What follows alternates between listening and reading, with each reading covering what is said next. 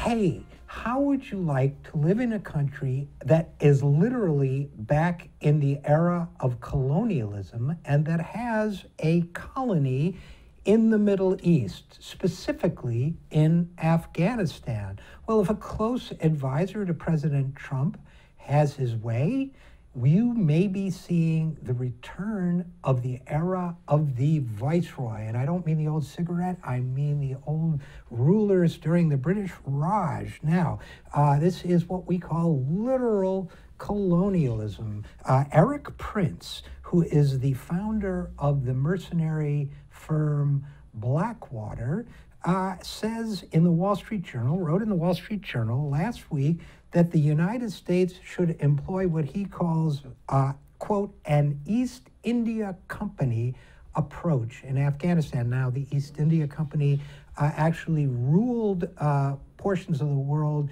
for the British uh, when the British was the empire on which the sun never sent. He set. He said that Afghanistan should be run by, quote, an American viceroy who would lead all U.S. and coalition government and coalition efforts, including command, budget, policy, promotion, and contracting, and report directly to the president. In other words, annex Afghanistan for the time being for the United States. Now, this is not just some nut. I mean, he is a nut, but he, this is a guy who has huge government contracts, is a close advisor to Trump. His sister, Betsy DeVos, is the Secretary of Education. This is a guy with all sorts of connections to the executive branch of the United States government. He once presented himself as an unofficial envoy for Trump, meeting with a Russian, quote, according to the Washington Post, a Russian close to President Vladimir Putin uh, in an attempt to establish a back channel line of community. And now he wants to be viceroy.